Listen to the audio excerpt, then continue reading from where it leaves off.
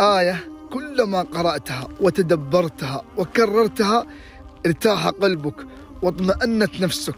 قال الله تعالى وأفوض أمري إلى الله.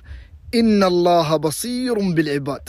الله بصير بك يعلم حالك يعلم ماذا تريد.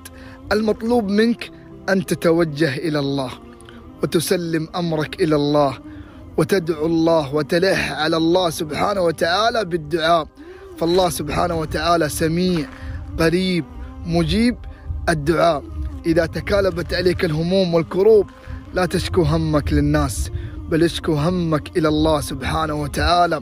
فالله بصير بك وكرر هذه الآية وقل وأفوض أمري إلى الله وأفوض أمري إلى الله. فالله سبحانه وتعالى راح يعطيك ما يسرك ويسعدك.